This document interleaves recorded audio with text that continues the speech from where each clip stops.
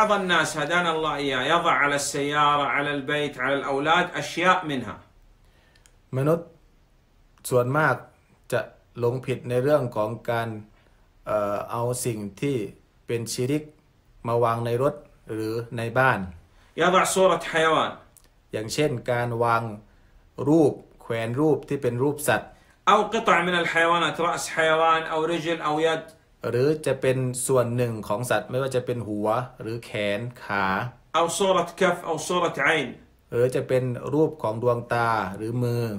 أو نعل قديمة حذاء قديم หรือว่าจะเป็นรูปเท้า أو بعض الخرق الأقمشة القديمة بعض القماش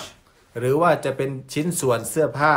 نعم أو أشياء من البحر يضعها أيضا หรือจะเป็นสิ่งที่เอามาจากท้องทะเล أو يكتب بعض الكتابات على البيت يقول الحسد لا ينفع كذا และก็เอามาเขียนบางส่วน บอกว่าเอ่อโรคอิจฉาจะไม่ยังประโยชน์อันใด هذا شرك أصغر อันนี้ก็จะเป็นส่วนหนึ่งของ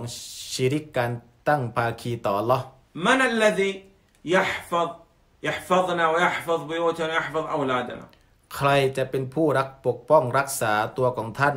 ลูกของท่าน الذي يحفظنا هو الله سبحانه وتعالى แน่นอนว่าผู้ที่รักษานั่นคืออัลลอฮฺซุบฮานุวะตะอาลา النبي صلى الله عليه وسلم لم يفعل هذه الأشياء